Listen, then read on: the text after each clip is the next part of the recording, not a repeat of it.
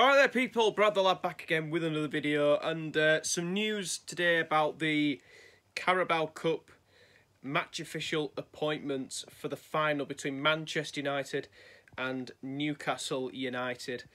Um, so the news is is that the referee for this game will be David Coote.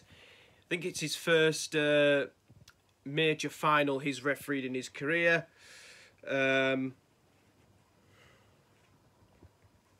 and uh, David Coote, of course, he has. I think he, he's refereed United a few times, and I think we've uh, won on all occasions, um, which is a good omen, I suppose. So this is the news then. So Carabao Cup final, Manchester United versus Newcastle United, 26th of February at Wembley Stadium.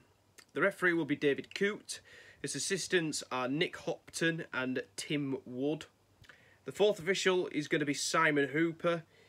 Uh, Peter Bankes is the VAR. Eddie Smart is the assistant VAR. And uh, Nick Greenhalgh will be the reserve assistant referee.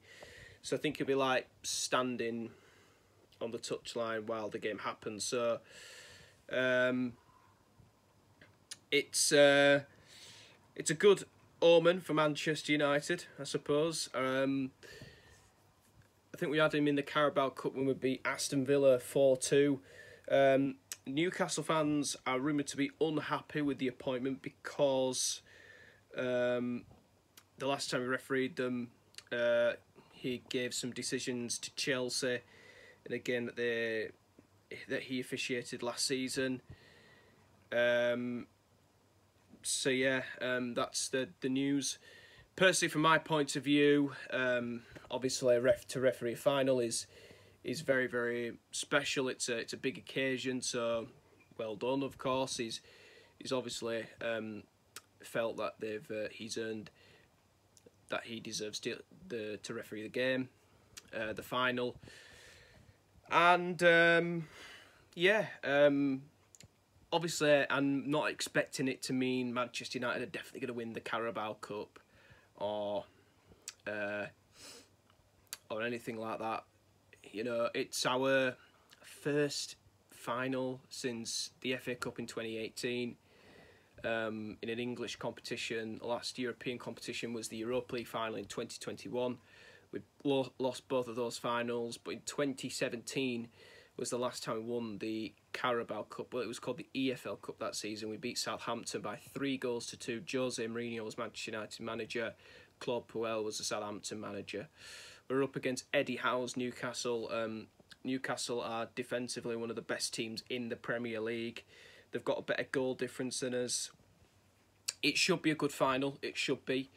Um, one concern I might have um, is if the game goes to penalties because David De Gea doesn't have a great record for saving penalties, and Nick Pope is a solid goalkeeper, and um, you know he he can keep them out. So hopefully we win the game in the ninety minutes rather than taking it further to extra time or penalties like or anything like that. Um, but yeah, that's the news about the match official appointments. Um, all seems pretty settled.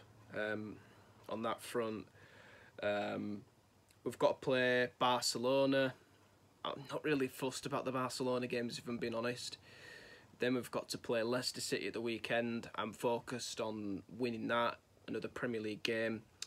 And then we've got to play the, the Carabao Cup final next week. Again, after we play Barcelona in in the in the final. No, sorry, after we play Barcelona in the Europa League, and then we've got Newcastle in the final. Uh, so, yeah, it is a good omen. Then we've got West Ham in the FA Cup. We've got Liverpool away in the Premier League. Southampton at home. Brighton away. Look, I think we've got some... I think we're in a really good position at the moment. We can, you know, I think all the trophies are there to to grab. To be honest, I think you know we're.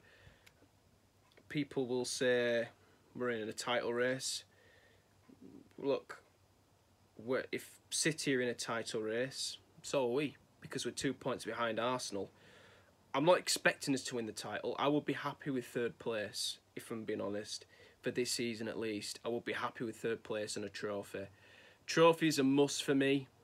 Um, I don't think it will be the Premier League, but it, look, if you can win the, the Carabao Cup, if we win the FA Cup as well, it will be a tremendous season for Manchester United.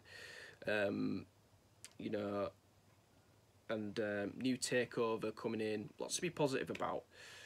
But yeah, I'm going to stop uh, rambling. Hope you've all had a very, very happy Valentine's Day today. Thank you guys for watching. See you all in a bit. This is Brad the Lad. See you next time. Bye.